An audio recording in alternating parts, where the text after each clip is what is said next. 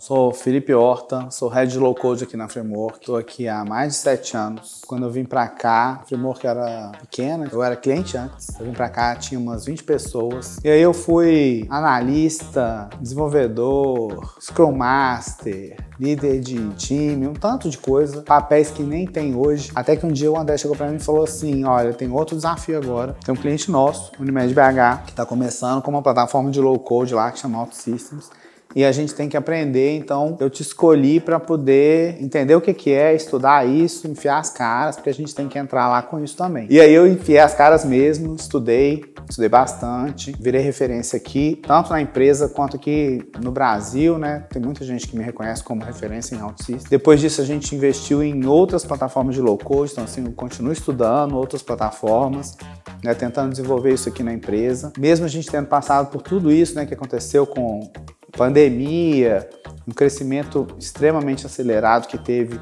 de tecnologia, eu tenho orgulho de fazer parte disso.